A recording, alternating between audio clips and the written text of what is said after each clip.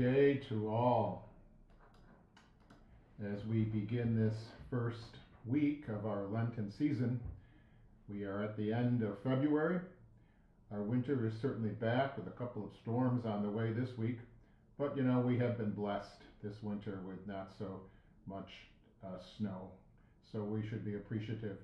I've been reading um, my, Matthew Kelly's book, which is entitled Life is Messy.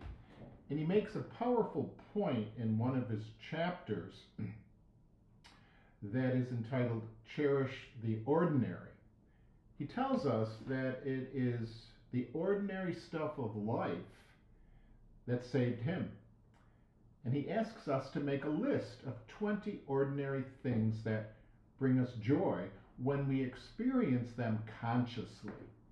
Now, he gave us his list of 20 things that give him joy when he is aware of them breathing, sleeping, waking, water, nature, food, reading, thinking, conversation, music, art, the seasons, friendship, children, kindness, chocolate, laughter, hugs, holding hands, home.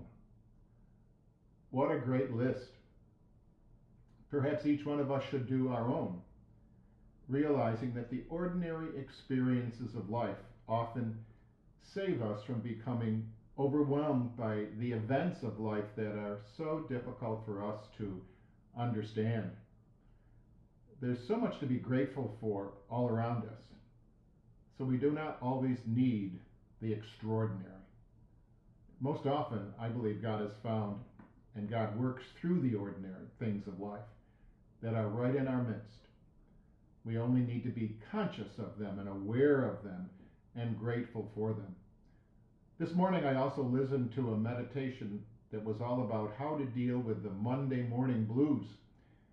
It was all about starting the day with a heart full of gratitude.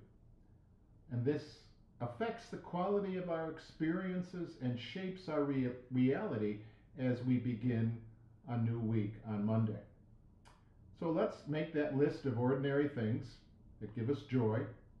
Let us be consciously aware of them and grateful for them. What a good way to begin this Lenten season. Peace to all.